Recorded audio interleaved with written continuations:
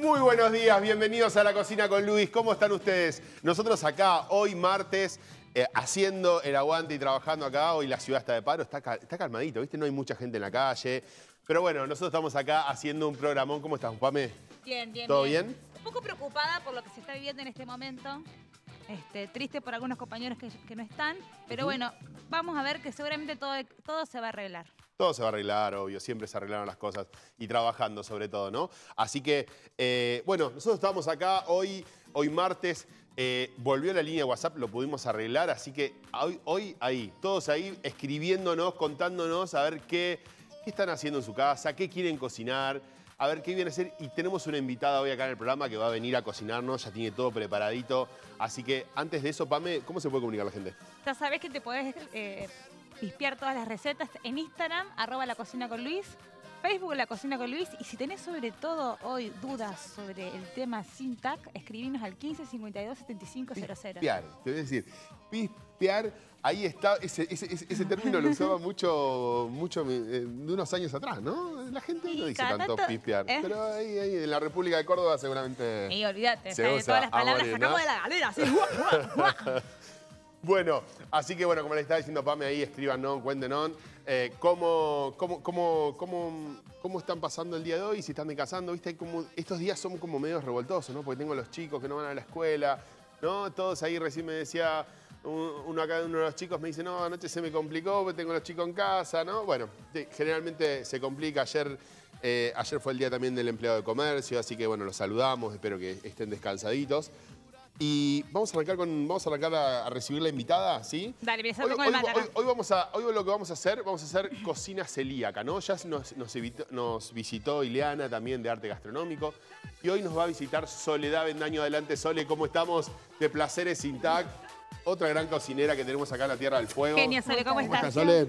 ¿Todo bien? Muchas gracias. Muy bien, muy bien, por suerte. ¿Todo tranqui? Sí, todo ¿Cómo anda eso? ¿Cómo anda el negocio? Muy bien, creciendo, creciendo. creciendo. Y bueno, así como crecemos, también vamos teniendo nuevos ayudantes. Así que les mando un beso a mis ayudantes, eh, que, sin ellas este, no podemos crecer. Así que, sí, así es. Eh, Aparte estás en una ubicación súper estratégica, ahí en Alem y... Y Motor, justo en la rotonda de Alem y Motor. Contanos, Ale, ¿qué es lo que hace Placeres Intact? ¿Qué, qué, nos encontramos ahí? Bueno, ahí tenemos de todo. Tenemos, todo es libre de gluten sin tac, ¿no? Aclaro que es libre de gluten sin tac para, justamente ahí se ve la foto de, del frente del local. Hay gente que reconoce el edificio porque antes había un laboratorio y así que qué mejor que yo quería un laboratorio de cocina, conseguí un laboratorio y convertirlo en cocina, así que le cambié el karma al lugar. Ahí hacemos también cosas sin lácteos, sin azúcar o sin lácteos y sin azúcar eh, y utilizamos ingredientes, muchos son poco tradicionales para la cocina libre de gluten.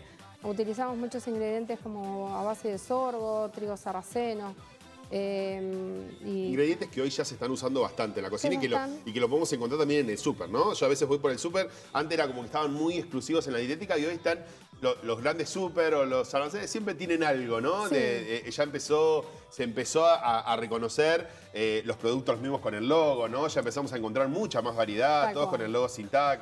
Entonces, la cocina de a poco eh, va, va digo, la cocina sin va, va la gente teniendo opciones, ¿no? Sí, sí, eh, yo hace 15 años cuando me enteré que era celíaca y empecé a, cocinar y a comer, bueno, en algunos lugares todavía me preguntaban, me querían compartir algo para comer y yo les decía, no, soy celíaca, ah, ¿sos de una secta? Me preguntaban. Entonces, digo, bueno, me pasaban cosas así. Hoy ya la gente sabe que no, ah, sin harinas o sin algo, saben que hay algo, o inclusive mucha gente, te digo, casi la mitad de la gente que, que viene a Placeres Sin que elige comer sin porque se siente más liviano, porque le parece más saludable.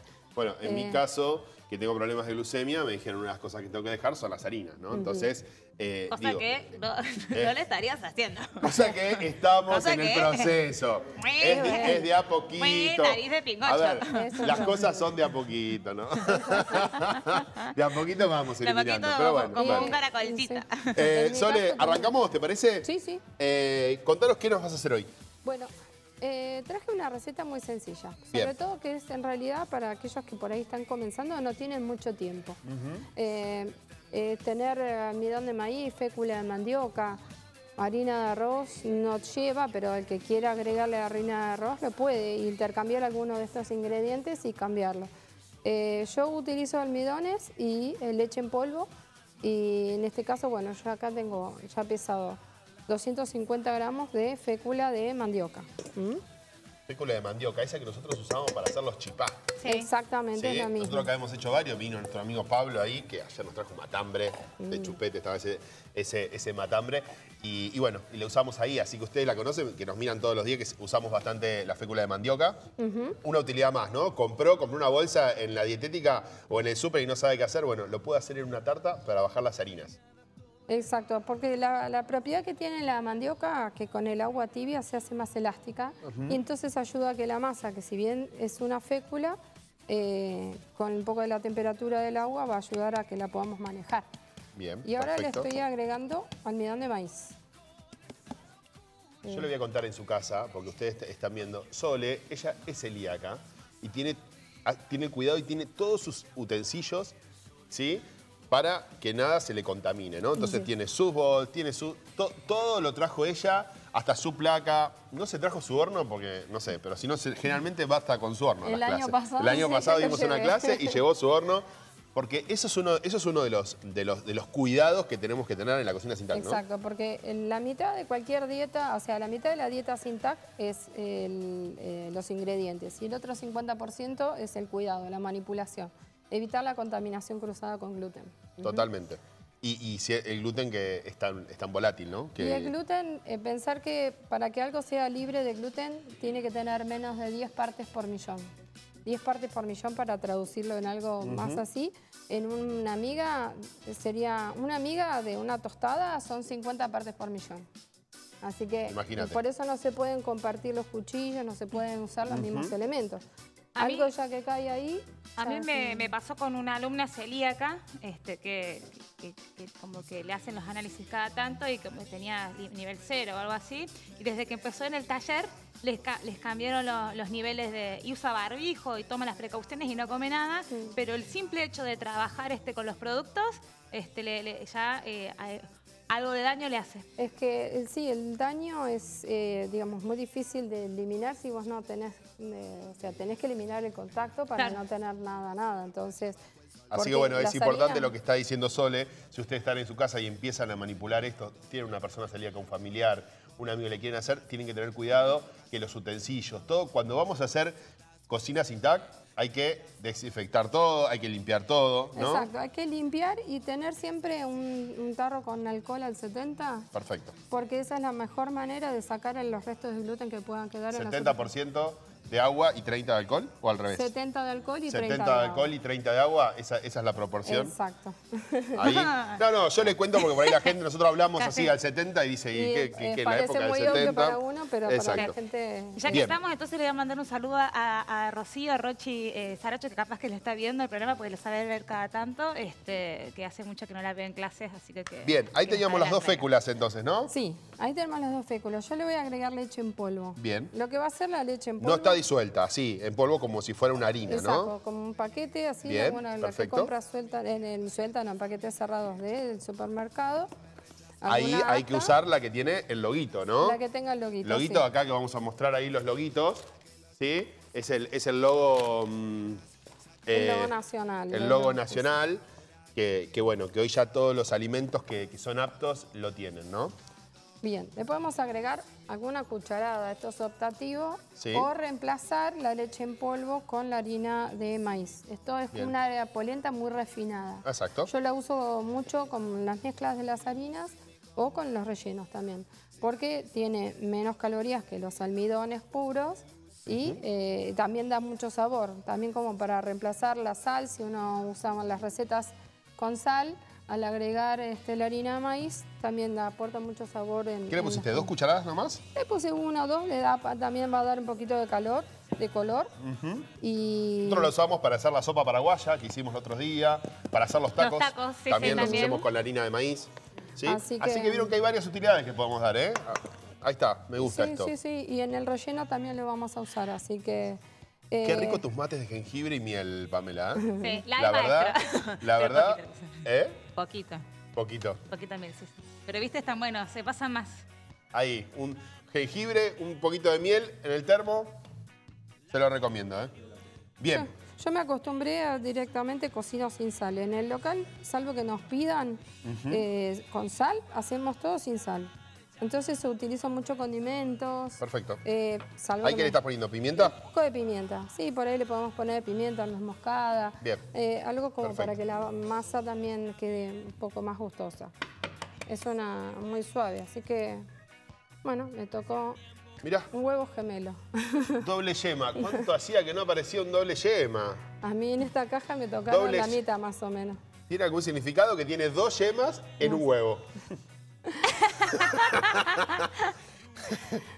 La productora me dice qué significa. Significa dos yemas en un huevo. Es, es, es, es la parte de... es el huevo de la fortuna. Bueno, ojalá, ojalá, Mirá. ojalá. Así Bien. que, Entonces ahora tenemos, en vez de dos huevos, como va a decir la receta, tenemos tres yemas y dos huevos. involuntariamente,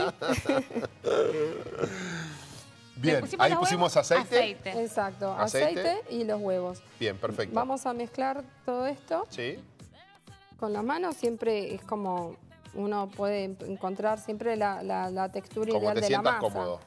Voy a empezar así, después siempre por digo, ahí a- la mano bien, bien limpia, sí, también es una, es una forma de que nosotros palpamos el producto, sabemos lo que estamos haciendo y nos obliga después a lavarnos las manos. A veces cuando usamos guantes, ¿sí? pensamos que, ah, como usamos el guante, tengo la mano limpia, no tengo la sensibilidad, entonces no lavo bien el guante. Entonces cuando nos lavamos las manos, lo hacemos con la mano si la mano está bien limpia. Un poquito de alcohol, nosotros siempre tenemos alcohol en gel, ponemos ahí después de lavar y seguimos Exacto. manipulando. Esa es como la, creo que es la, la mejor manera, ¿no?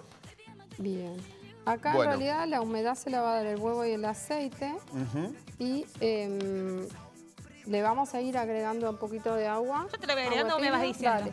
Es poquito porque ¿El a agua es tibia o es, eh, Es tibia. fría? Sí, agua está tibia. tibiecita. Bien. es tibia. ¿Un chorrito? Un chorrito.